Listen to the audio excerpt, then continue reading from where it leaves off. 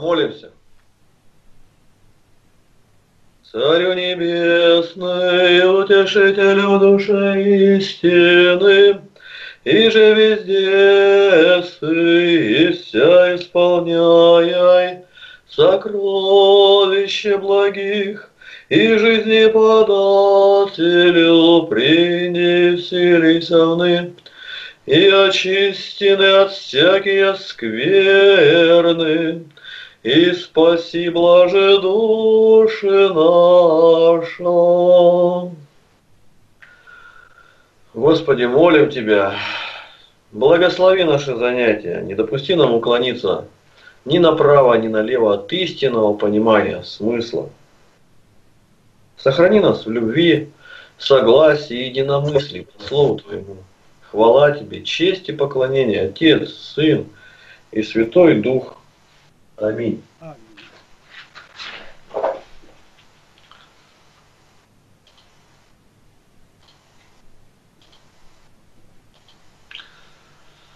Сегодня 15 февраля 2019 год, и мы продолжаем занятия по изучению пособия Евангелия от Марка, Евангелие от Иоанна, 15 глава, 5 стих. «Я есть лоза, вы ветви, кто пребывает во мне, и я в нем, тот приносит много плода, ибо без меня не можете делать ничего». И вот следующие два вопроса, на которые сейчас попробуем найти ответы. Чего не хватало? Чем Иоанн видит великое преимущество Христа над собою? Пожалуйста, желающие поактивней, отвечайте. Вот два вопроса.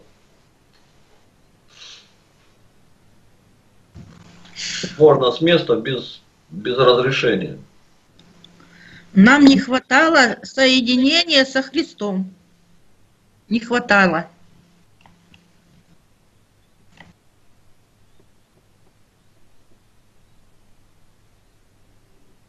Но эти два вопроса взаимосвязаны. В чем Иоанн видит великое преимущество Христа над собою? Мы же в Марка приходим, там начинается повествование, что Иоанн в пустыне проповедует о Христе, к этому все и подводим. Там не было прощения от грехов у Иоанна. Там он указывал на грехи, а у Христа прощение. Так. Еще, пожалуйста.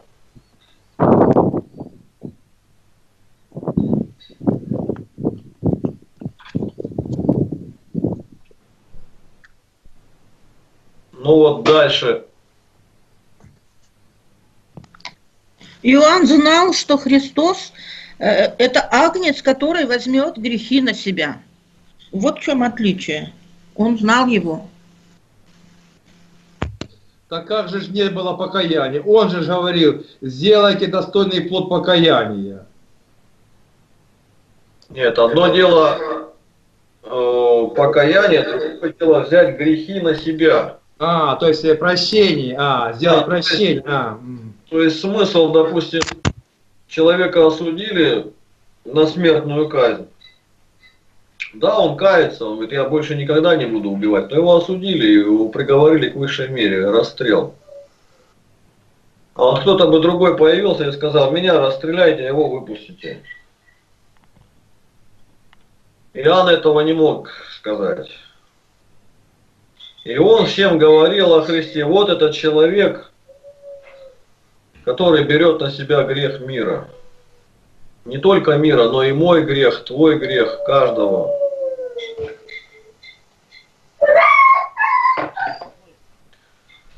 Вот. Еще, пожалуйста, подключайтесь поактивнее.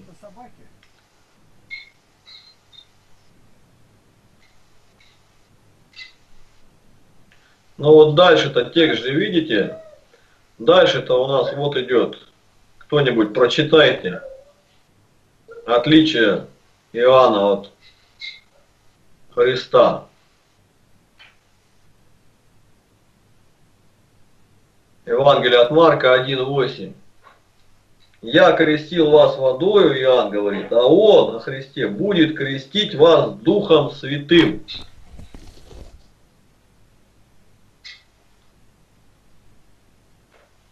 И третий вопрос, связанный с первыми двумя.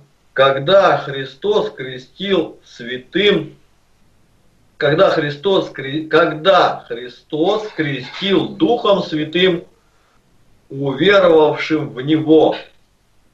В Сионской горнице.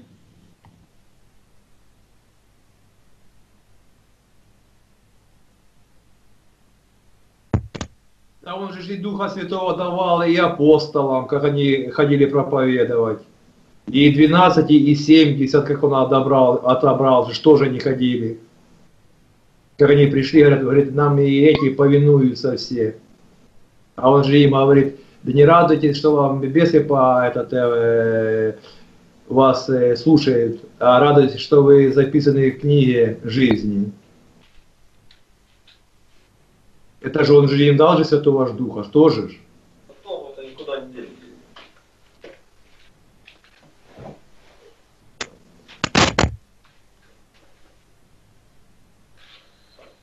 Так. Значит, все в горнице и еще апостолов крестил, и 70 апостолов. Ну и И еще... у нас при крещении. Что? И в нашем крещении мы тоже получаем, ну не, не обязательно в крещении Духа Святого. Вот. После покаяния. Это и нас теперь вот следующий вопрос задается. Ну, это Ольга ответила. Вот. Касается, еще как касается. Читаю следующее. Деяние 2.39. Ты текст Ибо вам принадлежит обетование и детям вашим, и всем дальним, кого не призовет Господь Бог наш. О каком обетовании речь идет?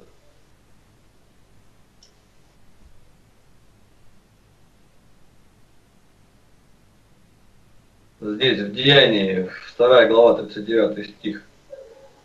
Но кто поверит, по- покается, крестится и жить будет благочестиво, и Царство Небесное будет наследовать.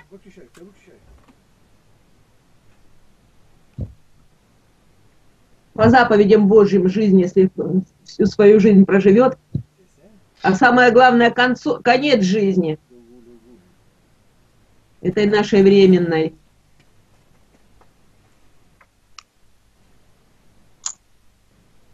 То есть вы хотите сказать, что шло о Царстве Небесном, да? Ну правильно, если это о Царстве Небесном, так если разобраться. Ну, давайте откроем Деяние 2.39. Да и прочитаю. Ну, Деяние, вторая глава, там как раз в самом начале говорится вот о сошествии Духа Святого.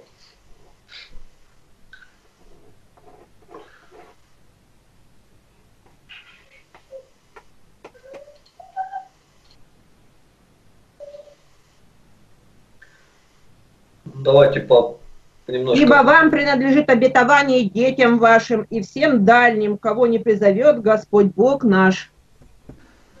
Так, кто сказал, когда сказал, кому сказал и зачем сказал? Кто? Деяние кто написал? Дальше вот 38 стих. Петр же сказал им, Петр им, кому им? Прочим апостолам, вот 37 стих. Что нам делать, мужи, братья? Петр же сказал им, покайтесь и докрестится каждый из вас во имя Иисуса Христа для прощения грехов и получите дар Святого Духа. Ибо, вот слово ибо это как бы вы, вывод из вышесказанного. Ибо вам принадлежит обетование и детям вашим и всем дальним, кого не призовет Господь Бог наш. То есть впереди речь идет о получении дара Святого Духа. Вот, значит, это было обетование. А когда это было обетование?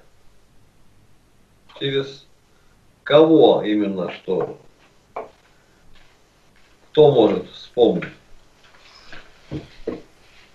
У какого Через пророка? праотца Авраама. Погромче, Вань. Через Авраама.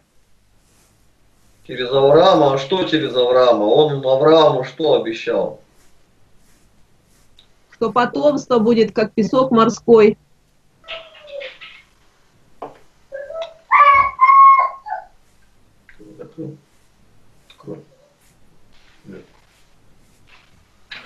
Потомство как мирское, как, как поток. Ой, поток, Песок морской. Да.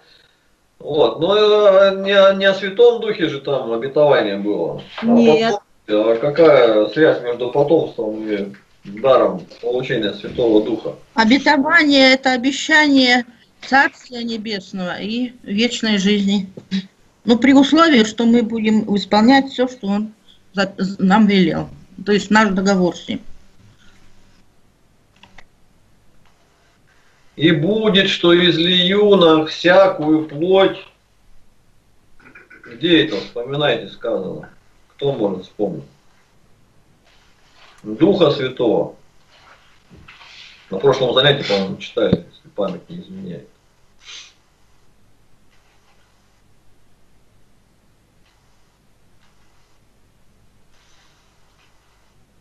Так. Ну что, то есть разобрались, обетование было, Бог обещал излить Духа Святого.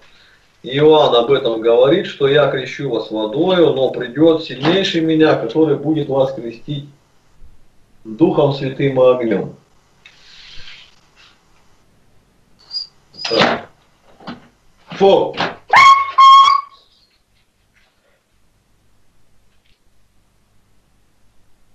Так, Игнат Тихонович, что, да, дальше читать или что-то еще можно по этим вопросам? Слышите меня? Нет? Не слышит, наверное.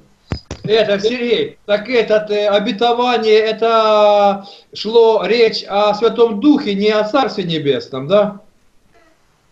Ну, а давайте э, разберемся, в чем разница обетования Царства Небесного и обетования Святого Духа. Кто может разницу объяснить? Да, пожалуйста. Ну, в Царство Небесное, то есть... Не попадет тот, кто Духа-то Святого не имеет. У кого Да. не было рождения духовного, тот и не наследует Царство Да. Небесное. Духа Христова не имеет, тот и не его. Молодец, Ольга, да, хорошо подметила. Да, молодец, да. Вот. А теперь, э, так, ну что, брат, Владимир, хочешь что-то сказать? Подошел, микрофон включай. Иаиль, 2 глава, 28 стих. Зачитай. Ну, сказал, надо читай. Что ты, Иаиль, у тебя же есть цитата там. Фу, Смотри, склоненный, ты гляди, как ты стоишь. Застыл. А я где-то он стою, застыл.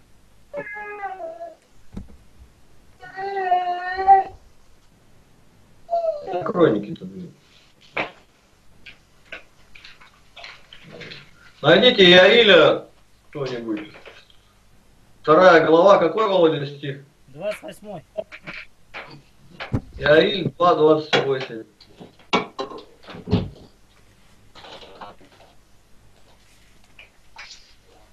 И будет после того из, излью от духа моего на всякую плоть.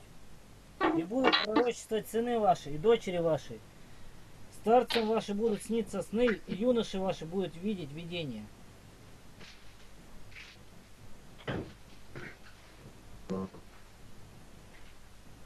Так.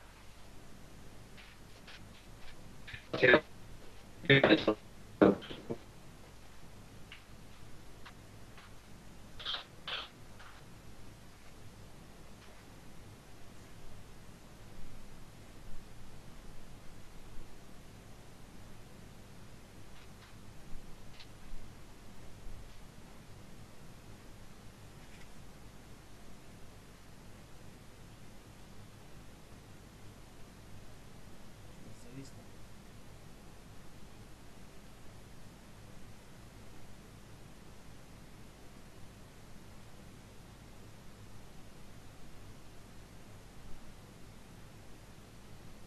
Чё, Со, со связи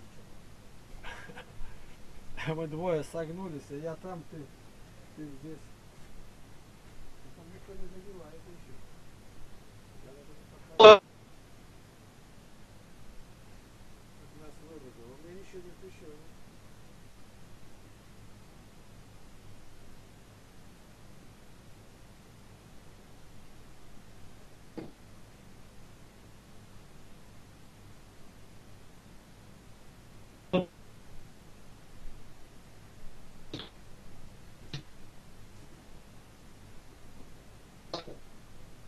Ну, имени Иисуса Христа и Духа Бога нашего. Дает силу для новой жизни и служения.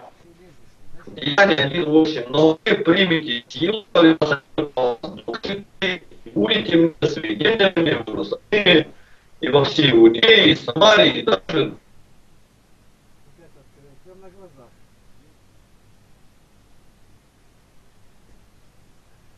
Каждый раз говорю, я тебя посажу туда. Подойдет, откроет, убегает. Хулиган. Хулиган просто и все.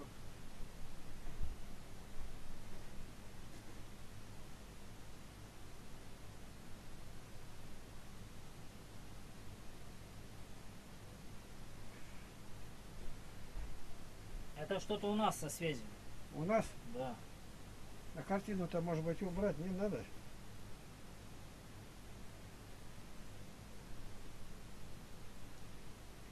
Да когда сама картина от нас не зависит, были слова, надписи, нету.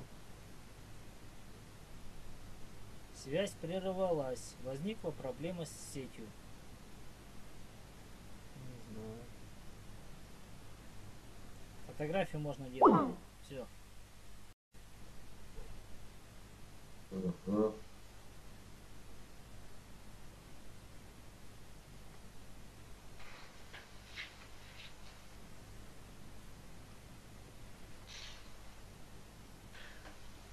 Так. Ладно, читаем дальше. Евангелие от Марка, первая глава, с 9 по 13 стихи. И было в те дни, пришел Иисус из Назарета Галилейского и крестился от Иоанна в Иордане. И когда выходил из воды, тотчас увидел Иоанн разверзающиеся небеса и духа, как голубя, сходящего на него. И глаз был с небес. Ты сын мой возлюбленный, в котором мое благоволение. Немедленно после сего дух ведет его в пустыню, и был он там в пустыне сорок дней, искушаемый сатаною, и был со зверями, и ангелы служили ему. Всякий человек – произведение своего времени окружающей его среды. Подходит ли это к Иисусу, пришедшему в Иудею из маленького, невзрачного галилейского города Назарета? Вопрос. Вот когда вопрос, я останавливаюсь и предоставляю слово каждому. Любой может попробовать на этот вопрос ответить. Не подходит. Написано Христос вчера, сегодня и во веки тот же.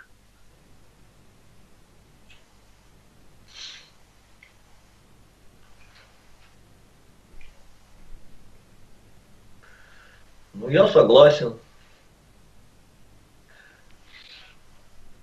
То есть э, Иисус это не просто человек. а Бога человек. Но и все же он вот сатаной был отведен в пустыне, и сатана искушал его, как человека. Надежда Лапкина пришла с каким-то... И к рожденным свыше это тоже не подходит, потому что мы не от мира сего уже. То есть э, вне этого времени. Как, как не к этому времени? Что-то непонятно, брат. Ну, то есть не мы духом времени, как прочие люди, а по духу Христову живем. То есть не подходит, что произведение сего времени, я так считаю. А,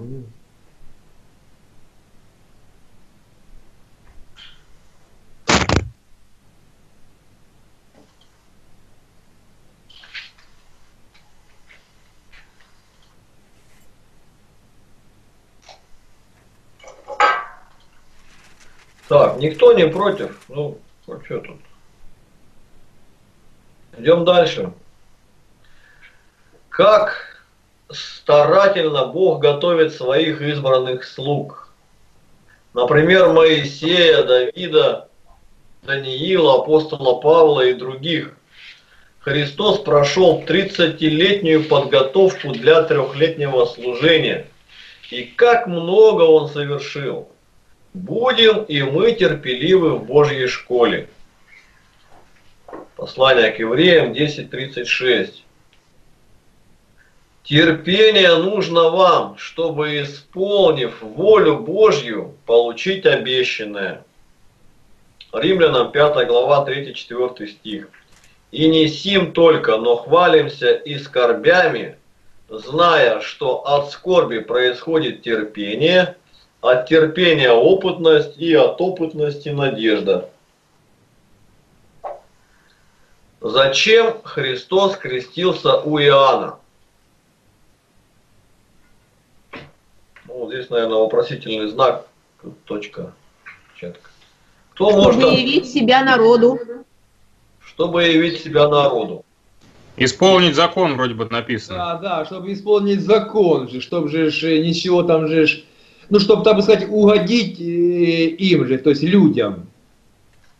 Почему? Потому что, что видите, они же на Иоанна кричали, он не ест, не пьет, в нем без. А потом Иисус пришел, не ест, не пьет, и тоже без. То есть им же не угодишь. Это чтобы же у этот, э, ну, закон, соблюсти закон, чтобы, ну, не было докопаться ни до чего, чтобы же все было хорошо. Угодить очень странное слово по отношению к Богу. Не Как- нарушить закон, а исполнить пришел Христос. Ну да, исполнить закон. Хорошо, а где в законе было написано, чтобы ходили к пророкам и окунались в воду?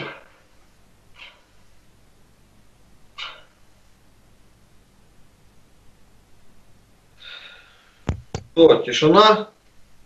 Я не понял, где написано, что надо принимать крещение водное или что?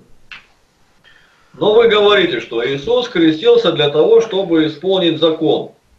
Я спрашиваю, где в законе написано, чтобы приходили и крестились в воде? Тишина. А, ну да. Там написано не закон, а исполнить всякую правду. А вот какую правду, об этом нам сейчас, наверное, Владимир хочет поведать. Нет, заулыбался. Я думаю, ты пришел такой с книжкой, думаю, сейчас что-то умное такое скажешь нам. Зачем крестился Христос? Ведь он же Бог, он безгрешный. Зачем ему э, омывать грехи? Зачем ему каяться? Ведь крещение для прощения грехов, и Иоанн призывал к покаянию. Потому что этому надо было. Он нам показал, он показал нам, как нам должно поступать. Да, Учиться. То есть своим примером, то есть он проповедовал и словом, и делом. То есть мы, христиане, последователи Христа, должны следовать его стопам. Владимир, пожалуйста, вот Прочитаем толкование лучше, блаженного Филакта.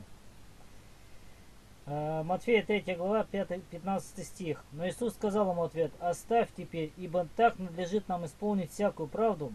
Тогда Иоанн допускает его. Толкование. Теперь, говорит, уступи.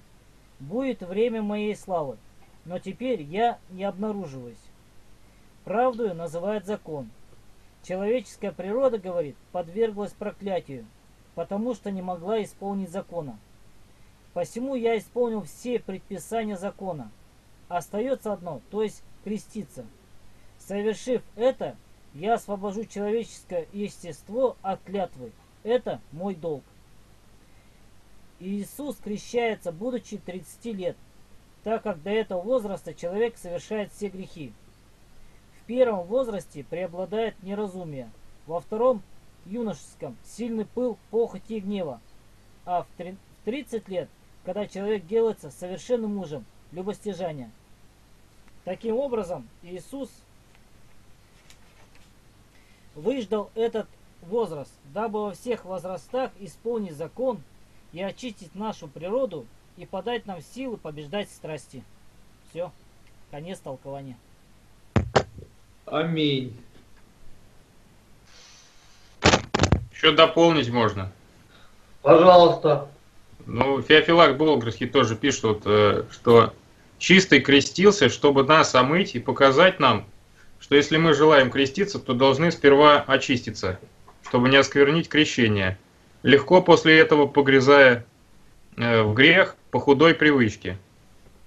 Вот. И еще тут я прочитал у Ираклия Илария, святого Илария Пактивийского, что он крестится, ему должно сейчас На экран, если можно, выведите. им должно было осветиться очищение в водах нашего крещения. Он еще освещает вообще воды иорданские. Вот еще такой момент. Уже сейчас не выведу, наверное. Брат, а какое место Писания второе? Вот было вот Матфея 3 глава, 15 стих, и там второе место Писания. Какое у тебя указано? А, так, тут 13-14. Филиппийцам 2 глава, 6-7 стих. Ссылка даже не зря дается. А, она здесь указана уже. А, вон. Ну давайте, да, вот здесь почему-то Матфея, третья глава, с 13 по 17. Это ты сейчас, Володя, прочитал, да? Ну я только 15 прочитал.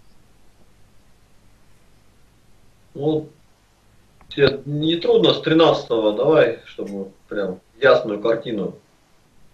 Да, сейчас прочитаю. Так, 13 Когда же они отошли, все ангел Господень... А, это третья же. А я же читал как раз 13-14 стих. А, ты читал, значит. 18. Тогда приходит Иисус из Галилеи на Иордан к Иоанну креститься от него.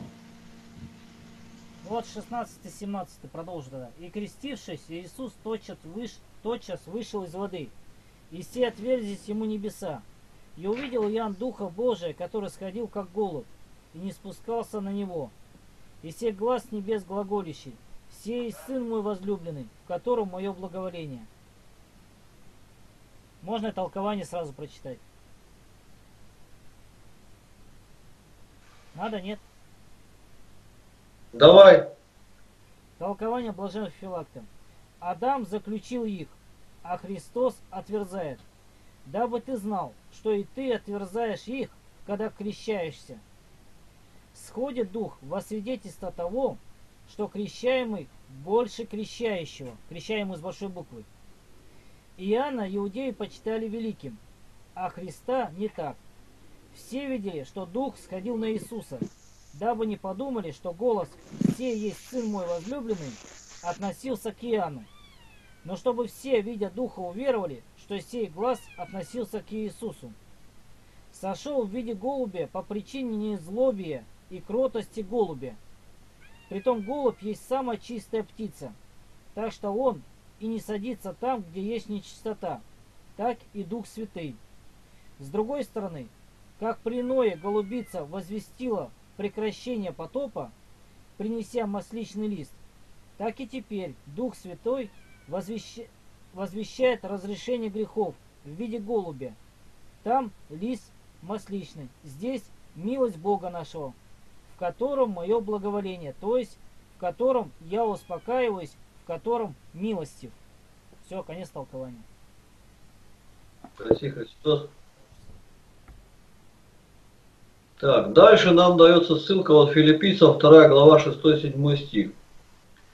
Он, будучи образом Божьим, не почитал хищением быть равным Богу, но уничижил себя самого, приняв образ раба, сделавшись подобным человеком и по виду став как человек. То есть вы должны четко это себе ну, уяснить. А, Почему вот мы православные исповедуем Троицу единосущную и нераздельную? То есть вот этот стих, то есть Иисус Христос, Он не почитал хищением быть равным Богу. То есть Он как бы говорит, я и Отец одно. То есть ничего здесь, то есть, но в то же время, то есть Он как Бог, уничижил себя самого, приняв образ раза, э, сделавшись подобным человеком по виду, став как человек, то есть воплотился в человеческую плоть, Бог. Евреям 2 глава 17 стих. Посему он должен был во всем уподобиться братьям, чтобы быть милостивым и верным первосвященником пред Богом для умилостивления за грехи народа.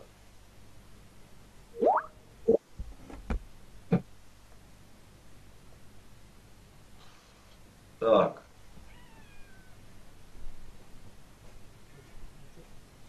Так, Сергей Евтушенко. То есть Христос исполняет повеление Бога, изреченное через Иоанна для людей. А так как он человек, то и на него распространяется это повеление. Вот такое, как бы, такая мысль. То есть он показывает, что он тоже стопроцентный человек. Да, то есть и он не противоречит, вот как бы, вот, раз Иоанну Бог повелел, глаз вопиющего в пустыне, приготовьте путь Господу, он проповедовал покаяние и крещение. Всех людей призывал. И люди приходили и крестились для прощения грехов. Но нужно тоже себе усвоить, что в Иоанновом крещении прощения грехов не было. То есть оно, он готовил стези, пути, там ну, читали, сердца людей, чтобы они приняли Христа, который может простить им грехи. Прощать грехи может только Бог. Ни Иоанн не может грехи прощать, ни батюшка на исповеди нам грехи не прощает. Он говорит, властью данную мне от Бога прощают вся тебе грехи. То есть не я прощаю тебе грехи, а властью данную мне от Бога. Потому что Христос дал такую власть. Кому простите грехи, тому простятся. Кем простятся? Ну, мною, Богом, не батюшкой. Но батюшка здесь буфер такой стоит, условие. Если он не простит, то и Бог не простит. Если батюшка простит, то и Бог простит. Поэтому священники мудрые, они в зависимости от... Они должны чувствовать души людей как они искренне каются или не искренне. Накладывать эпитемию в зависимости от содеянного греха, кому там три года, кому два, кому десять там за аборты. Вот. А у нас сейчас вот такое вот и экономия, вместо 10 лет отлучения от причастия, там, 10 поклонов. Ну, совершенно несоразмерно. И при такой эпитемии человек не может ощутить всю тяжесть этого содеянного греха, не то убийства. Это и понятно.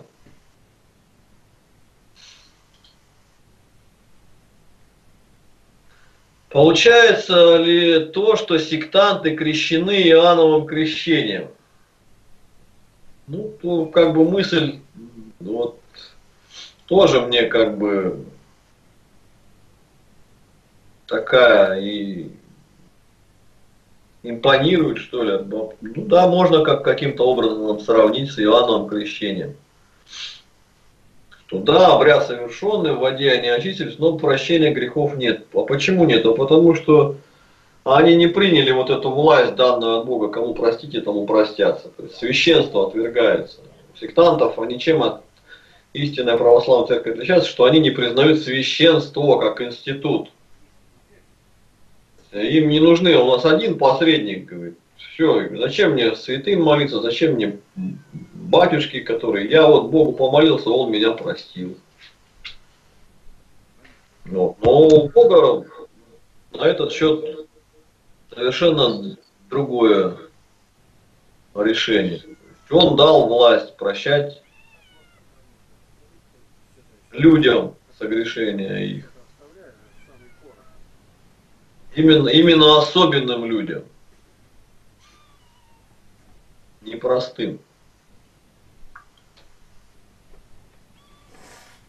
Простите меня, простите, кричит постоянно. Ха. Белый кричит постоянно. Че? Главное, чтобы у меня собаки не услышали этого мяуканья, а то сейчас будет нам. Все занятия сорвутся. Так, в какой связи стоит э, крещение Иисуса с началом его всенародного служения? Вот очередной вопрос. Желающий, пожалуйста, на эту тему. То, что он показал себя народу и получил благословление от Бога Отца. Что это сын мой возлюбленный. Да, и народ это слышал, и теперь уже, как говорится, ну, раз сам Бог его поставил, то мы должны его слушать. То есть, Сей Да. сын мой, его слушайте, в нем мое благоволение. Да, слышали и да. видели. И нигде, как и на в этот в моменте крещения, ну, как нельзя лучше можно было вот как раз это все исполнить. Да, явление людям.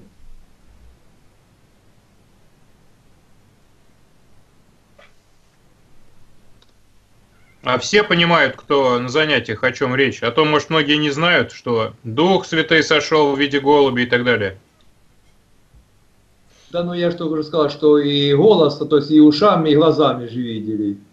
Игнатий Да вы это сказали, а тут люди сидят, может, они не знают, о чем речь. Мы так коротко говорим, что вот зашел там, и Бог сказал, может, люди первый раз вообще слышат. Ну, Может, прочитать стоит место, где он крестился. Понятно, понятно. Так пусть же говорят. Так Игнатий, вы же говорите, что вам все тихо, понятно всё. постоянно. Игнатий Тихонович. Пожалуйста, Игнатий Тихонович. Так, а мне? Микрофон включайте. говорю. Обратить надо внимание на следующее. Микрофон включите.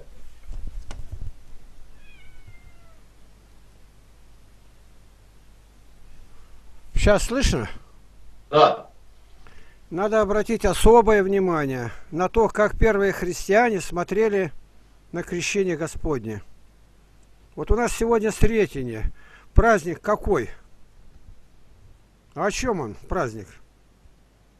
Сохранилось Младенцев в храм принесли. не в Писании, что вот переводили на греческий язык еврейские переводчики, 72 человека, перевод Септуагинта.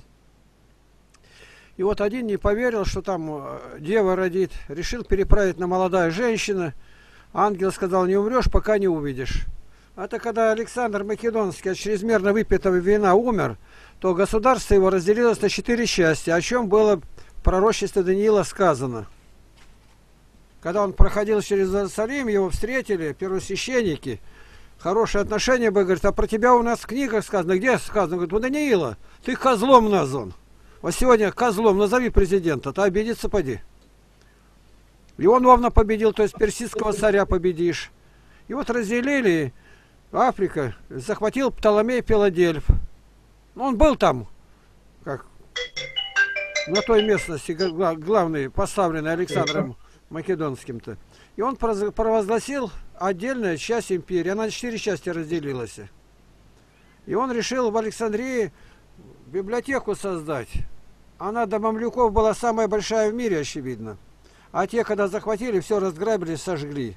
Все свитки, все. И вот здесь мы должны посмотреть. Сретение. Один из переводчиков не поверил, звать Симеон, 240 лет примерно, примерно все так это. 260 ли лет там. Ну и лет 40 было, то считай 300 лет он жил. Уже умерли внуки, правнуки, он все живет и живет. Господь сказал, не умрешь, пока не увидишь. И это считается праздник. Событие какое сегодня? Двунадесятый. Этот праздник приравнивается к крещению, к Рождеству Христову, к Благовещению. В чем он приравнивается? Там Архангел возвестил великую радостную весть, она защит. Что сегодня возвещать? А вот встретение, с, чем, с кем встретился? С младенцем Иисусом. По человечеству-то он ребенок еще не понимал. По человечеству, если. И вот одинаково 12... А были эти праздники в первом веке? Да их знать никто не знал. Их в восьмом до десятого века никто не знал. А как праздновали? Был один праздник. Это надо очень хорошо понять. Праздновали только один праздник Богоявления. А почему? Это начало всемирной проповеди. Корень-то в этом. Мы не проповедуем, не благовествуем, поэтому нас и душит враг со всех сторон. Первое было так, это крещение. А его взяли, присоединили к этому дню одновременно. Не было святок. Святки от крещения, от Рождества Христа до крещения, святки. Тут сочельник придумали. Этого ничего не было. Один праздник был, не считая Пасхи. Пасха это праздник праздников. Ну и что они не отмечали ни покрова, да никто, даже греки покрова этого не знают. У нас настолько мы любим праздновать. Праздновать, то есть ничего не делать. И вот этот день отличается от других тем, что дрогнула Вселенная. Тысячи и тысячи проповедников пошли, женщины. А это Христос вышел на проповедь всемирную. А дальше-то пошли люди. Он уже им говорит, идите по всему миру и проповедуйте Евангелие всякой твари. А эта тварь-то сколько? Вот этот день, начало его, с богоявления, тоже непонятно. Крещение Христа, ну что крещение-то? Ну, крестился. Что за этим событием-то? Ничего и нету. Вода побежала вспять, никуда она не побежала. Все это образное афоризма, гиперболические выражения. Главное, что Христос, ему исполнилось 30 лет, и он вышел на проповедь. Вот сейчас, сегодня мне скинули материалы, вчера там было заседание, и Головина, отца Владимира, сняли с сан. Назад они не вернут никогда, это не такое дело. Они считают, что утверждено на небе это. Он не священник теперь, он не может ни благословлять, ни со священниками стоять. Но его никто не отнял благовестие. Вот он виноват, виноват крепко. Допустим, его поймали на воровстве. Или его поймали на блудодеянии. Ну, любого священника, не этого. Его извергать надо из сана. Канон гласит, его извергли. Его извергли в два часа. А он утром может идти и причащаться. А если мирянин, 7 лет минимум не может причащаться. 7 лет. А как так? А дала наказание, говорит, 7 лет пройдет, ты все равно вернешься и опять будешь. А он в свой чин, чин священский уже никогда не вернется. А у них сколько ошибок-то? Их рукополагают до 30 лет. Он незаконный, написано, его извергнуть надо. И те, которые его извергал, они извержены все, до одного. Или крещены неправильно, или сами крестили неправильно. Они взяли только то, что им понравилось. А что они не берут апостольское 40 50 правило? Почему не берут 6 Вселенского собора 14-15 правила? О возрасте. Ну, не в этом дело. Но его запретили. Так печались или нет? Ну, я не знаю, как другие, но я молился каждый день. И каждую ночь он в моих молитвах. Даже этого Гробовского-то, Грозовского осудили, отца Глеба, то я каждый день о нем молюсь и только повторяю, Господи, не дай ему погибнуть, не дай ему погибнуть. Чтобы он не отчаялся. Я сейчас закончить хочу. Минутку. Вот в этом вся суть. Начало евангельской проповеди по всему миру. Крещение Христа, ну, в воду там зашел, вышел, мы ничего не понимаем. То ему не надо было креститься Христу. А он показал пример, исполнить всякую правду. И получите креститесь и получите прощение грехов. У него нет грехов, ему не нужно было крещение-то. Он просто показал пример. Это понятно. Да как, какой праздник? Благовестие начала. Вот здесь и как раз впереди разбирали Дух Святой, крещение Духом Святым. Вот как только мы выйдем, я очень прошу вас, пока не поздно, перекачайте себе две проповеди отца Геннадия Паста, протеерея. Что такое вот, крещение Духом Святым? Сегодня из священников мало кто знает, и перекачай, пока его не убрали. Если они отца Владимира так это толкнули, говорится, поглотили, то а началось с чего? Со свидетелей Иеговы. Так впоследствии они и нас начнут э, сшибать. Но молитва наша опрокинет их всех, если мы будем достоверно молиться. Истинно так. Так вот, сегодня наш главный праздник. Идем ли мы на благовестие? Проповедуем ли мы Евангелие всей твари? Какая наша радость? Приобретение душ, больше радости нет, Ян Богослов говорит. Как слышать, что дети мои ходят в истине. А когда в истине? Когда обратились, когда крещение получили, рождение свыше и водительство Духом Божьим. Это стояние в истине, в истине православной церкви, Вселенской церкви. Нам не нужны толкования разных бакмелдеров, кригеров. Это все еретики. У нас есть свое толкование. 12 томов Иоанна Златоуста, которые сегодня продаются свободно в одном комплекте. Если кому не непонятно, скиньте, я вам дам. Это в общей доставка где-то 9 тысяч, 12 томов. Это недорого. И это новое. Ну, правда, бумага такая слабее. Еще неправильно? 8 тысяч. 8 тысяч. Это Вот. до нас. Ну да, до нас. Приобретите, и толкования вам другого не надо будет, не считая блаженного Эпилакта. Потому что часть трудов Златоуста потеряны, и только две книги случайно дошли. Уже, ну вот, в прошлом веке дошли. Исаия и бытие, на бытие толкования. Одну нашли где-то у халдеев, а другую у армян. А было 10 томов, сейчас 12. Так вот, это благовестие. Взирайте на кончину их и подражайте вере их, которые проповедовали вам Евангелие. Их поминайте, а не Матронушек. Матронушку-то поминаешь, что она, проповедница, что ли, была? Писание говорит, 13 глава, 7 стих, послание к евреям. Заучите наизусть. Что интересно, Дмитрий Ростовский написал вот эти 12 томов «Жития святых», и эпиграфом взял именно этот стих. «Поминайте наставников ваших, которые проповедовали вам Слово Божие, и, взирая на кончину жизни их, подражайте вере их». Все! В этом все! Где бы что ни было, нет радости, тоска, иди на благовестие. Там ты развеешься. Иди на благовестие. Это день крещения. Бог открыл путь. Не пошли. Ну, посмотрите, как распространяют мусульмане. Мне сегодня мусульманин это и говорит. Ну, как так? Кришнаиты там разные идут по всему миру. Почему православные никуда не идут? Они стали все как старообрядцы. Лежало до нас тысячу лет, пусть дальше лежит. Любви-то нет к людям. А ты хотел бы уверовать? Ну, люби ближе, как самого себя. А другой как уверовать? Вера от слышания. А слышание от Слова Божие. И как проповедовать, если не будут посланы? Пошли меня, Господи, как Исаия сказал. Исаия Бог сказал. Он выскочил я, а Господь говорит, уста нечистая. Что, он матерился или что? Нет. Проповедь освещает уста.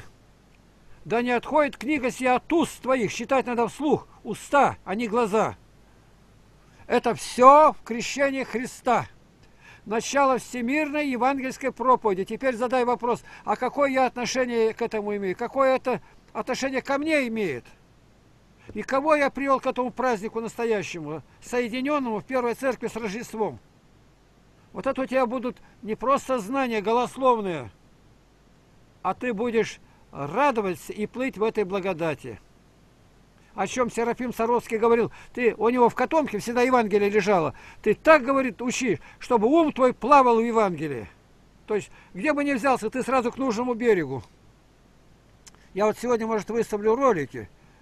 Ну, очень интересно было. Сейчас, почти, сейчас со- 40 минут с мусульманем, с мусульманским юношей. Очень, очень интересно. И вот на цыгана высел, и на цыгане другие пришли цыгане.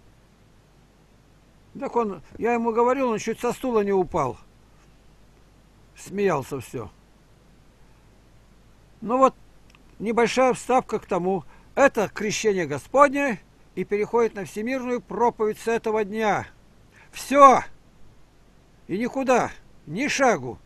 И на исповеди священники должны были спрашивать, ходила на исповедь или нет. Вот этого нападают на отца Андрея, то он там не хочет разбираться, она забыла, то другое. Это я не беру это, но самое главное это, чтобы проповедовали. У него там Слово Божие, это не дождешься где. Больше всех упоминает о Библии, когда говорит, это отец Олег Стеняев, даст ему Бог здоровья и свое жилище, у него дома нету.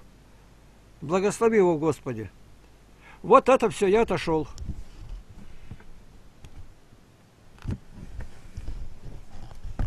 Кто хотел задать вопрос, руку поднимал, давайте.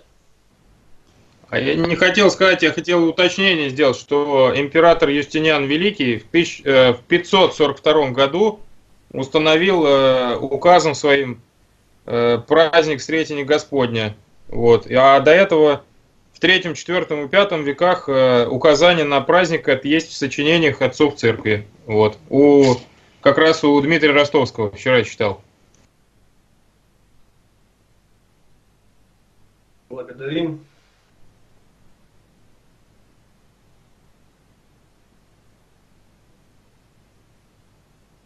Так, продолжаем чтение. Родившийся от Духа Святого Христос теперь получает помазание Духа на служение. Евангелие от Луки, 4 глава, 18 стих. Дух Господень на мне, ибо Он помазал меня благовествовать нищим, и послал меня исцелять сокрушенных сердцем, проповедовать пленным освобождение, слепым прозрение, отпустить измученных на свободу.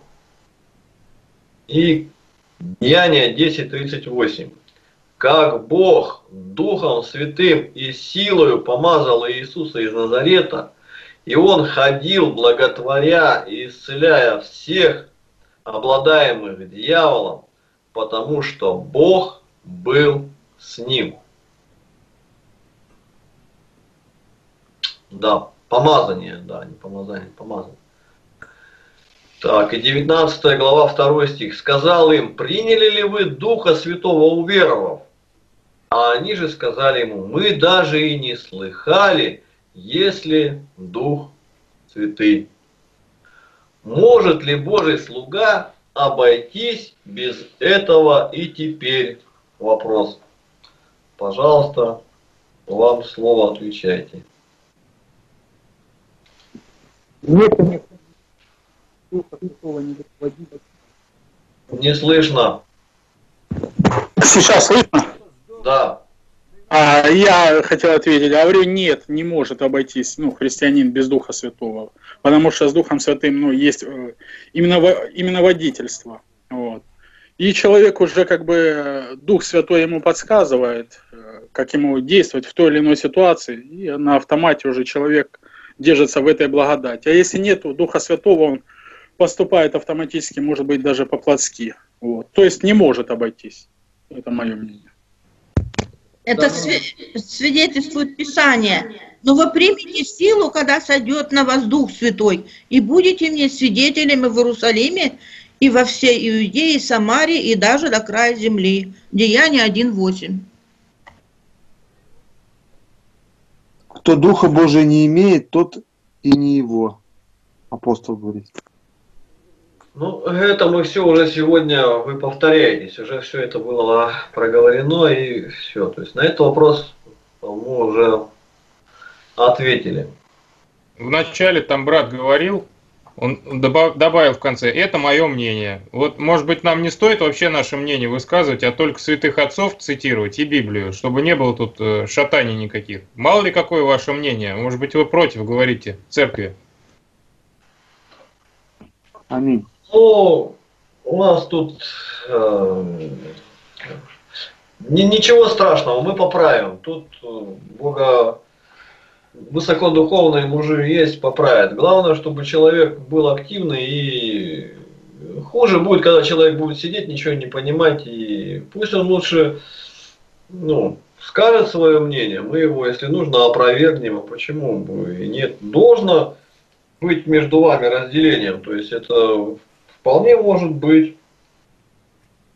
Ну и Да ну ничего страшного уже не сказал этот, э, то есть ничего ж не навязывал, ничего. Тут ну, ничего страшного, что есть Дух Святой, нормально, а если нету Святого Духа, то по-человечески. Ну, человек сам по себе просто поступает. Ну, то есть, Подождите, я выразил, извините, прошу прощения, я вы- выразил свою мысль, точнее, с, а, своими словами мысль, которая, в принципе, описана в Новом Завете, в, Евангелии, только с, э, своими словами.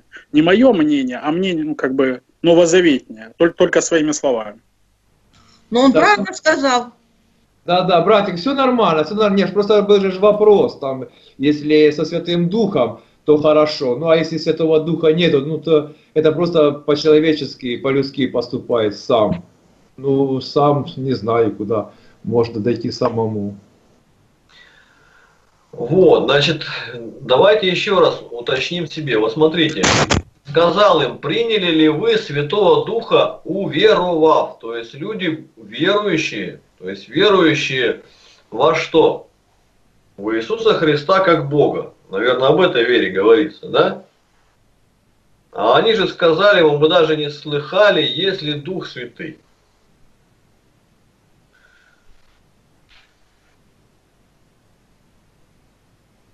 Ну и вот вопрос. Может ли Божий слуга обойтись без этого? Разобрали, что нет, не может.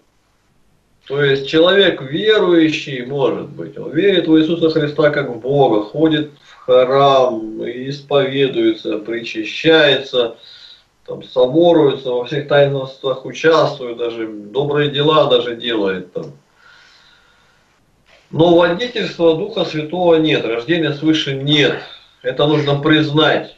И каждый себе должен вопрос задать, а я родился свыше или нет? Когда? Как это произошло? То есть, есть люди, которые соединятся, которые называют дату, часы, время, они знают о себе, что они родились. И другой спрашивает, а я родился свыше? Но если ты такой вопрос задаешь, ну, живого от мертвого можешь отличить? Ну, любой скажет, может, там, мертвый он лежит, не шевелится, холодный труп, что, не дышит, не, не ходит, не смотрит. Также и рожденный от Бога от нерожденного тоже отличается. Духовно мертвый духовно живой, они, они духовно рассуждают все о духовном, то есть он уже это плотское все временно, он на нем не, не, не останавливается, то есть он уже все расстался с этой жизнью. Он продолжает жить на земле, но все мысли на- направлены к горнему. И Дух Святой его ведет, как поступать в той или иной ситуации. Вопрос можно? Да. А вот как так тут написано, что мы даже не слыхали, что такое Дух Святый, когда до этого, например, говорит, когда же поведут предавать вас, э, не заботьтесь наперед, что вам говорить, и не обдумывайте, но что дано будет вам тот час, то и говорите, ибо не вы будете говорить, но Дух Святой. То есть, как вот это, откуда в деяниях возникает вот эта фраза, что мы даже не слышали, не слыхали, есть ли Дух Святый. Это ж, наверное, после того, когда уже люди получили Духа Святого, и уже имеется в виду после этого. Не, не, до, дано. наоборот, до, до. Они же еще не получили. Значит, ошибся. Извините.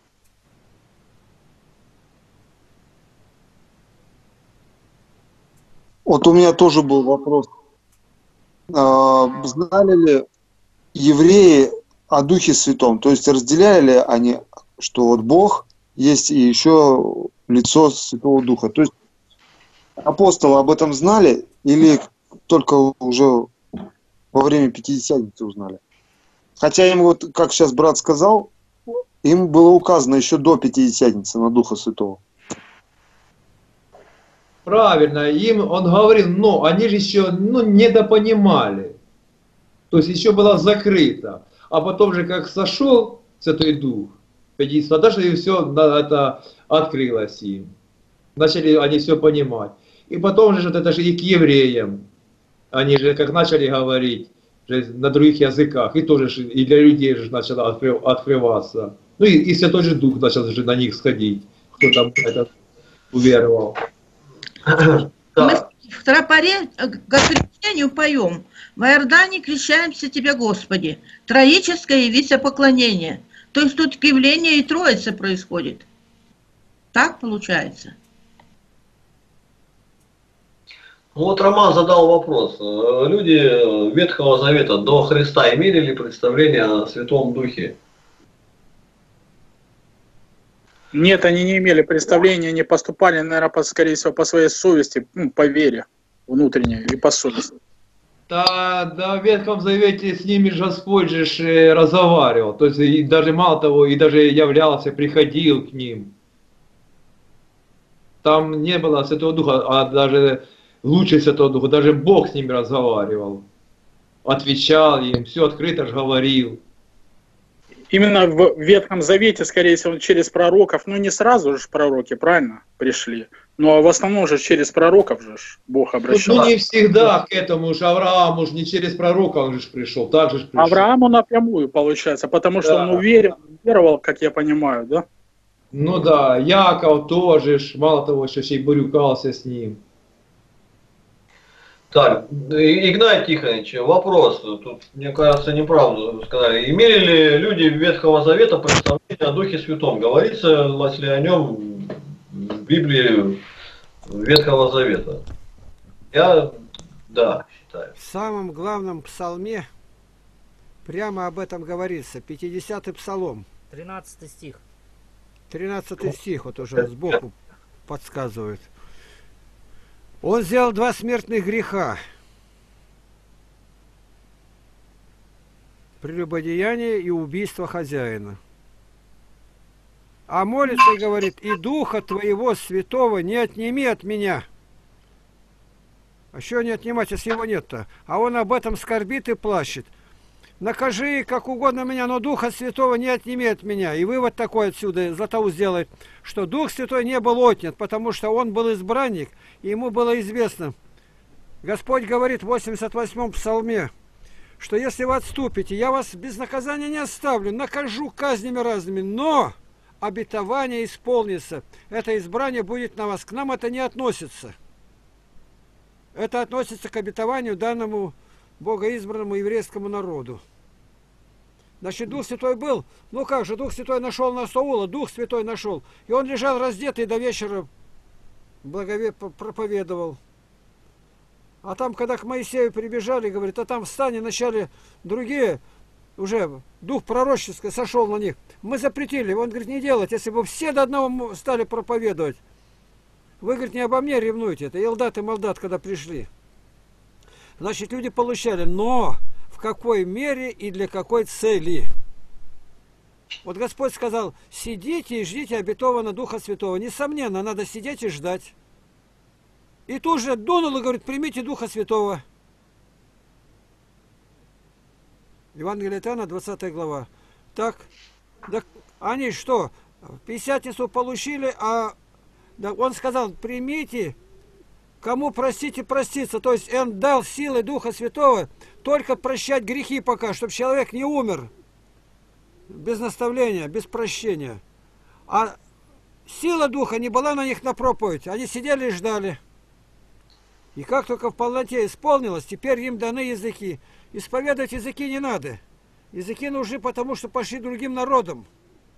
А с другим народом говорить, если ты не знаешь язык, так много не наговоришь. Вот такой ответ. Дух Святой был, но в какой мере? Вот мы посмотрели на одном примере и увидели, на что-то дано. Если зашел Дух Святой на Самсона, и он разорвал оковы, столпы сдвинул, это Дух Святой делал за него. Но в Ветхом Завете только до какой-то степени. Господь, говорит, ищет поклонников в духе истине, в духе с маленькой буквы. То есть духовно. А что в Ветхом Завете не было в духе истине? В духе было, а в истине нет. А почему? Образы. А это были образы для нас. Ягненок был там, а ягненок это не истина, она только указывала на ожидаемого Агнца Божия. Каждый ягненок, а их когда только Соломон храм освещали, представьте себе, ну быка видели, бык, а там-то они здоровые в Иерусалиме. 22 тысячи быков. От ни один комбинат не справится, мясокомбинат. Я вещик сразу закололи 120 тысяч в жертву. Как пишет Павел Флоренский, словохарактерному там делать было нечего. Священники по щиколотку ходили в крови. Это все смывалось в Иордан уносилось на поля. Это глубокое-глубокое было понимание. Все это указано кровь Иисуса Христа. Кровь Иисуса Христа очищает нас от всякого греха.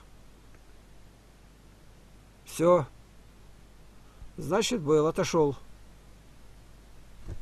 А почему они сказали, не знаем э, о таком?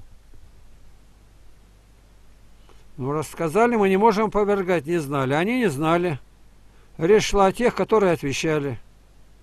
Потому что к ним еще не приходили апостолы. А Фома, этот Филипп, который был, это был диакон из числа семи. А через его руки не сходило. Так а при чем тут руки? Главное нутро. Баптисты говорят другие. Ну, Писание так говорит. И возложили руки на них. И они пошли на проповедь. Они так это вольности позволяют себе.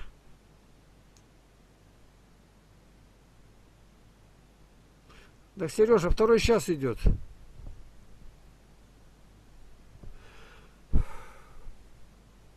Пожалуйста, давайте вопросы. Игнатий Тихонович, у меня к вам вопрос. Вот на прошлом занятии вы не благословили Надежду Васильевну говорить. А мы же тоже женщины, и у нас есть мужья. Должны ли мы у них просить благословения, чтобы говорить здесь, или помалкивать? Меня этот вопрос беспокоит. А у кого вы будете брать разрешение? Ну, у муж, мужа. Где Должно... они? Какие они? Покажите uh-huh. нам их. Ну, нет, никакие они. Ну, так значит, равняться не на кого. Поэтому вы участвуете, заняла кафедру мужа, тебе это по, положено по чину. А у нее, у моей Надежды Васильевны, я есть здесь. Зачем мне нужно? Она будет учить. А учить жене не позволяю не властвовать над мужем. Она будет иметь намерение уже сразу же пересесть в другую кошелку. Понятно. Спаси Христос. Слава Христу. Вы на кафедре стоите. Вам дано. Ваши мужья оказались в сторонке. Понятно.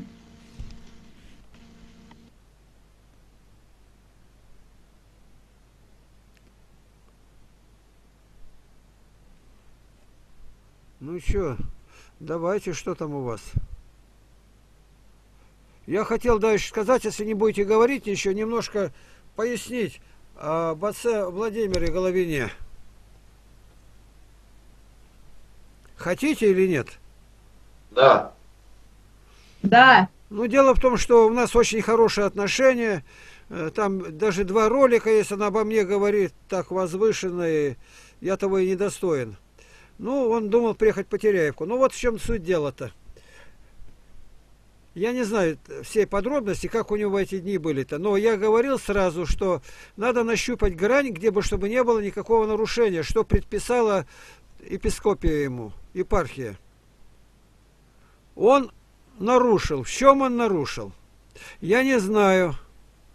Но я всегда придерживаюсь тактики соблюдать то, что Высший сказал. Вот наш епископ Евтихий был Курочкин, а мы за русский язык. И у меня вот это к истину православия, а там по одной теме я выпускал листики такие, вкладыши в газету. А потом все это вошло в книгу. И там есть три такие вот. Первое это о благовестии, что все должны идти на проповедь, он это не, не принял никак. О слове, то есть должно быть на русском понятном языке. И а я говорю вам, любите врагов ваших. То есть нам не нужно воевать, а надо молиться. Он по всем трем пунктам, по этим материалам, навалился на нас, батюшку запретить служение, а меня отлучить от церкви. Я сразу всех предупредил. Если только он решится на это отлучить меня, я буду стоять в коридоре все время. Но он не может мне запретить в университетах вести занятия, где я вел. Он никакой власти не имеет надо мной в радиорубке. Я три радиопрограммы вел по телевидению. Он не имеет власти, когда в воинских частях проповедую, в прокуратуре, в судах, везде. В храме. Тут он властен надо мной, а там мне не властен. Там властны надо мной силовые структуры. Но он не решился на это, дальше не пошел. Погрозил, и Бог его удержал. А мы молились. Он против русского языка. А как-то отец Аким приехал туда, это, кажется, в Омске было-то. А архиерей наш епископ-то и птихи один молится, а священники на скамейках сидят, разговаривают. Он говорит, что случилось? Почему же вы не молитесь-то? Ну, что-то такое там было, не во время богослужения, чуть ли не отпевали кого-то. Так наш-то архиерей что утворил-то? А что же он такое сделал? Так он все это моление переводит на русский язык. Он нас гнал за это, а мы ничего не делали, мы молились. И он нам назначил эпитемию три года, чтобы нигде об этом не разговаривали. Об языке. Мы а, отрапортовали. Отрапортовали, как положенное. И все. Слушаю, исполняю. Слушаю. И три года до 23 мая мы молчали, нигде ни разу не выступили, а нас подзуживали другие, что вы замолкли, вы же за русский язык были, тут борьба идет, там помогите. Ни разу нигде никак. Почему? Архиерей сказал, я уважаю его и боюсь. Это нормальное состояние. Я должен бояться высших стоящих. Ну вот кончилось 23-го, и ничего нет. Мы сразу же начали на русском. И он понял, дальше идти нельзя. Он не имеет права накладывать эпидемию, повышать ее, когда мы ничего не нарушили. Бог не лишил его здравомыслия. Вот я говорю сейчас об отце. Я не знаю, что там было. Может, по-другому нельзя. Они вроде хотели, чтобы он закрыл свои ресурсы. Зачем закрывать? Сказали, ты никого не благословляй, не надевай одежду там священническую. Богослужение, литургию не видел. Он не, он не нарушил. А вот дальше я не знаю, что там у них было. Но если только они побуждали, чтобы он закрыл ресурсы, они на это не имеют права. Он отошел, я этого не делаю. И весь сказ. Сегодня, если в интернете, а раньше было так, услышали, ну я, я уже отошел от этого дела. Ну люди, слушая вас, а дальше воюют. Ну что ж воюют-то? Ну что теперь, убейте меня, вы, чтобы... Это все равно ничего не изменит. Вот так. Надо поднять, посмотреть, потому что, насколько я понял, ему э, не благословили действительно продолжать проповедь, а он все равно ролики выпускает и выпускает, выпускает и выпускает. Я, я не Сидит... служу, обороните, чтобы меня неправильно да. понял. Я не знаю, какой запрет был на ролике. А если бы мне, если бы мне были, я бы передал другому, Володя делал, а я бы отошел. Я бы даже не прикоснулся. Что, так боитесь? Это мне положено по чину. Я чтец, мирянин считай. Простец.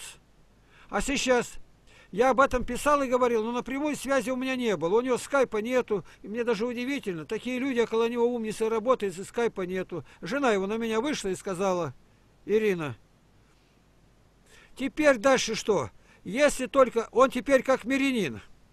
Ему можно причащаться, ему можно все, но если что-то какие-то там сказано дальше, вот что там ему, я же не знаю, что дальше-то требует-то выполнимое или невыполнимое. Если он дальше пойдет, дальше он будет отлучен от церкви. А если дальше пойдет, они его предадут анафеме. А должны они делать, они за это ответят. Я просто говорю, как это есть. Я сразу сказал, оповестил епископа, если пойдет на меня прещение, то есть, ну, запрещение, то я сразу выйду в коридор. А я и так в коридоре все время стою. Мне и уходить-то, можно сказать, никуда не надо. И Господь, видя наше смирение, хотя меня все время упрекает, вы не смиренные, ну, в вашем понимании так, а в моем так. Сказал архиерей, я отрапортовал, и все, слушаюсь и повинуюсь.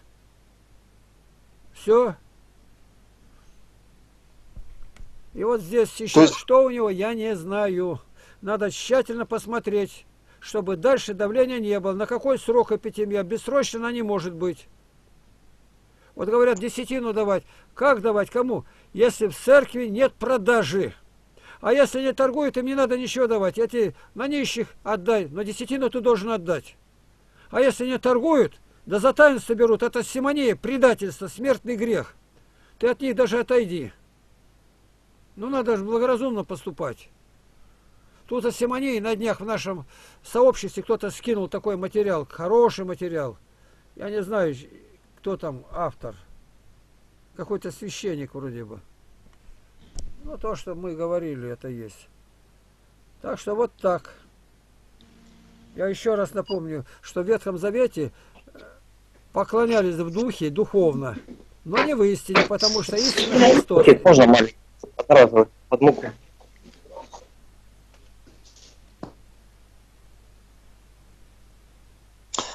Игнатий Тихонович, получается, если э, значит, вам дали запрет э, э, говорить на русском языке, то вы не могли даже говорить и в, и в институтах, университетах тоже об этом. Нет, только, вопросе. только в церкви, там, и переписке где-то. А там я что говорить? Там я никому не подчиняюсь. Так а вы, когда То есть ездите на... и благословляйтесь, я благословляюсь, чтобы он был участник дела. А мне не надо благословения их. Я пошел на проповедь, меня Христос благословил, Дух Святой. Зачем я ему пойду-то? Но я все равно подойду и скажу от опасности, чтобы на меня не напали. Чтобы не украли дорога ничего. А на проповедь это Дух Святой через меня будет говорить. Но когда вот не думать, о чем будут, когда вызовут, это надо понять. Вот я сидел в суде, и когда узнал, какие мне предъявляются обвинения, мне на руки выдали, что я подготовился. Я начал готовиться. Я тщательно подготавливался.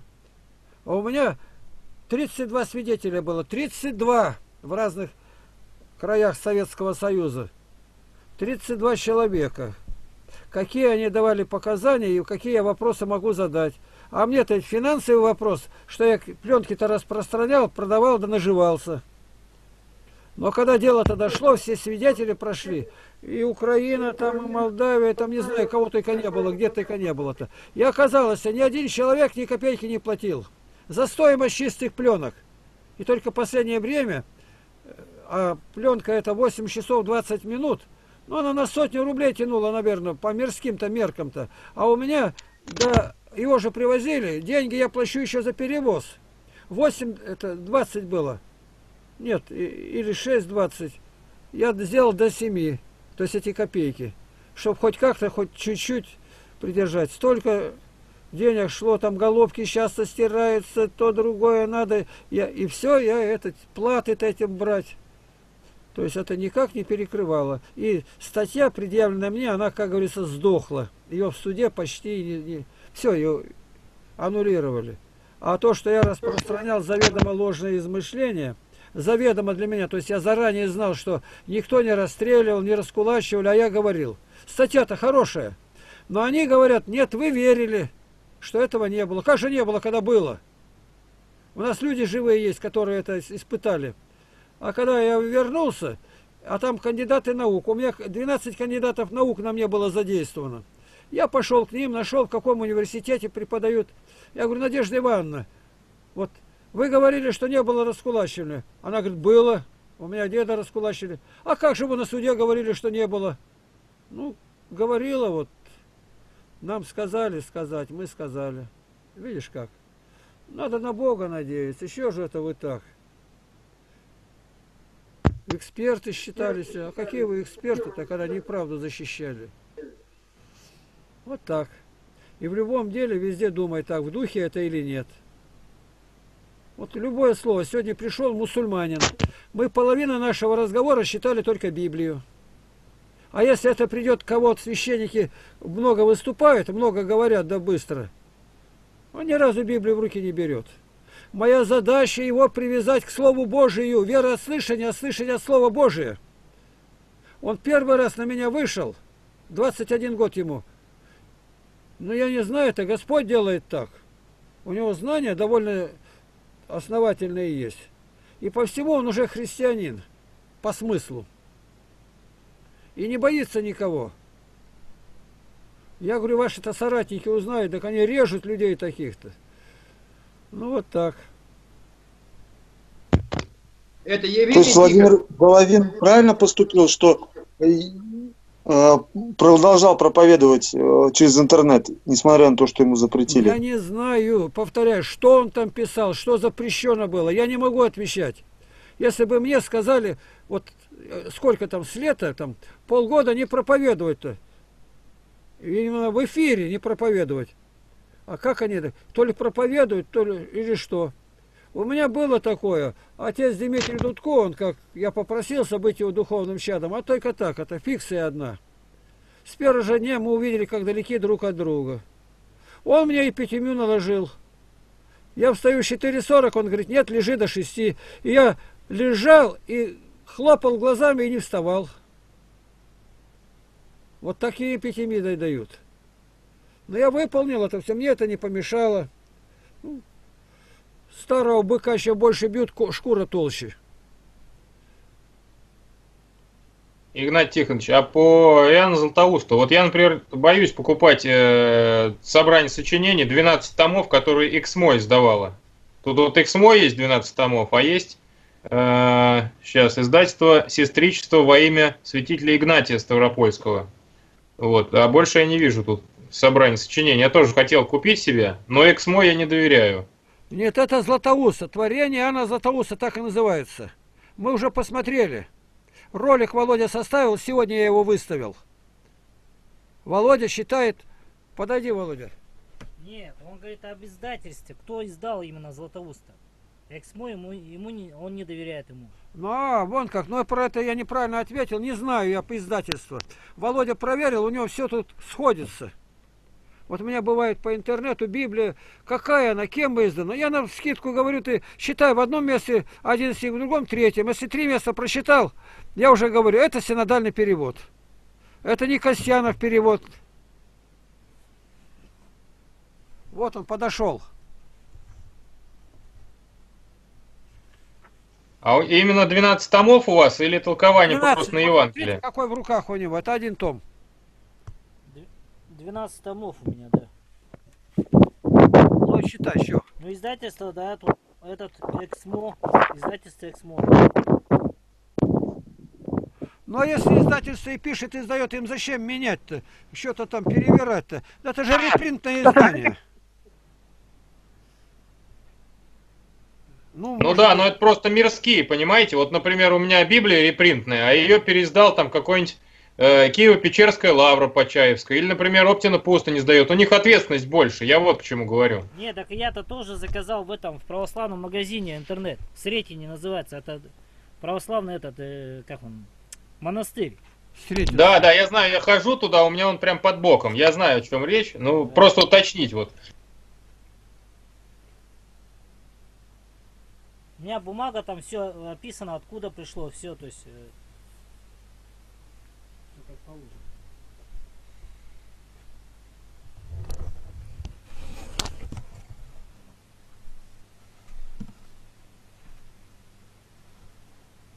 Игнат Тихонович, еще вопрос короткий, если ни у кого нету.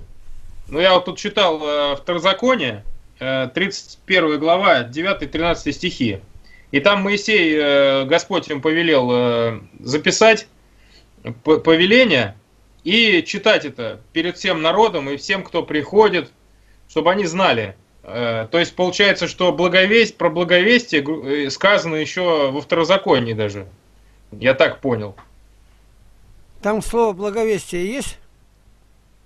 Э, благовестия нет, но там написано «собери народ мужей и жен и детей твоих и пришлицев, которые будут в жилищах» и так далее, чтобы э, они слушали и учились, чтобы боялись Господа Бога вашего и старались исполнять все слова закона сего. Вот так там. Это не благовестие. Благовестие это благая вещь, что Христос умер, спасение дает даром. А там именно, чтобы знали закон. Ян Златоуст прямо четко говорит, ты не считаешь книгу и не знаешь закона. А не знаешь закона его заповедей, ты их нарушаешь. А нарушая, ты погибаешь. И все потому, что ты не считаешь.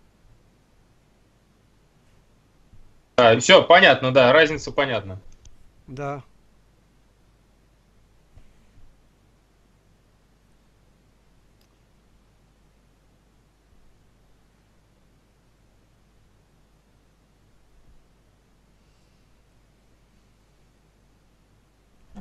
Пока не разошлись, Николай Астахов тут? Тут, тут. Ну ты бери наши, смотри, мы думаем, что там нету плохих слов-то, ставим-то. А там есть, ну где-то подправь маленько или как там подрежь, и потом перешли, снова надо как-то закачать или что. Да, я уже сижу, делаю, делаю. Вы Это, просто мне лучше нормально. присылали. Тем более, я иногда один записываю, один. А я же не слышу, что он сказал-то. Тем более я молюсь и стою. Да еще сейчас псалтырь читаю. Мы маленько меняем репертуар. Если есть возможность, вы мне сперва сбрасывайте, прежде чем выставлять, потому что я скачиваю, перекачиваю, смотрю, там не всегда А как я успеваю. вам сброшу-то? Как? Мне все равно их надо закачать. Ну, не на YouTube закачивайте, например, а куда-нибудь там на обменник. Я вам пришлю, куда можно закачивать. Нет, я только сюда. Чуть что, я хотя бы такую поставлю. Я не люблю никуда ходить. Вообще не хожу.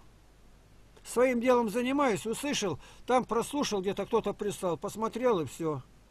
Вот сегодня мне прислали два или три материала про этого Синицкий, который на меня нападает, там ролики делает-то. Он нанятый, это масоны делают, я вам скинул. Ну, значит, вот куда мы вышли, на какой высокий уровень. Ну, Там ссылок на документы нет, что плохо.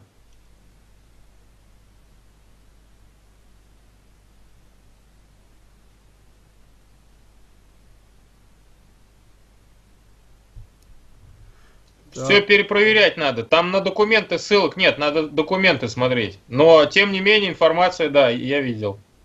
Ну, я знаю, то, то, то, на лагерь нападают, то его даже, говорится, смотреть на него тошно. Он, он все извращает. А ему сегодня скинули, ты посчитай, что Соломон говорит. Наказывая розгой, он не умрет, чтобы сделать из него человека. А это нет, вот психический надлом. Ну, за- задание дали-то. Их там целая команда работает. Одному это не просмотреть ему. У меня 475, кажется, роликов про лагерь. Ну, где просмотришь-то их? У меня 14 тысяч 160 роликов. Ну что? Ясно дело, что не один человек работает. Они разбивают по группам и выискивают, вырезают и ему дают. А ему разницы нет кто, потому что это моя специальность такая. Аборты делать. Я говорю, у меня такая специальность. Но он натолкнулся, он никогда этого не был-то, натолкнулся. Я-то его в молитвах теперь поминаю все время, он-то еще не понимает, куда он ввязался.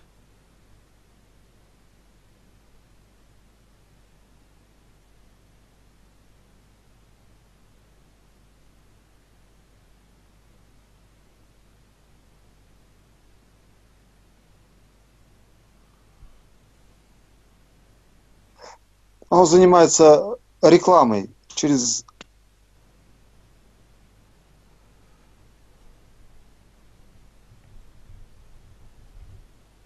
А вот знаете, когда венчают сейчас, венчания идут, венцы на голову не надевают, а там невесты за женихом парень идут и над головами держат. Ну, венчания-то нету. Венцы это когда надеты на голову, но в этом смысл есть. А смысл такой. Венец – это награда за то, что сохранили девственность. А девственность сохраняет и мужчина, и женщина. То есть парень и девушка-то. А раз не надевают, отсюда делаем вывод. Это два блудника сходятся, поэтому им венцы не положено. Вот весь ответ пришел. Блудное венчание.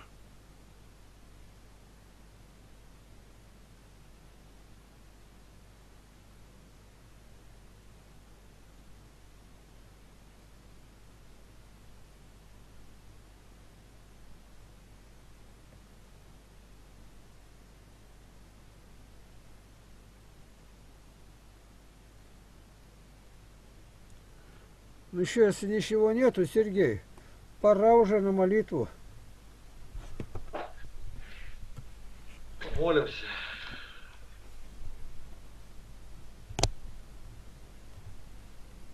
Достойно есть якова истину, блажите Тя, Богородицу, пресноблаженную и пренепорочную, и Матерь Бога нашего, честнейшую Херувим, и славнейшую без сравнения Серафим, без истления Бога Слова родшую, сущую Богородицу Тя величаем.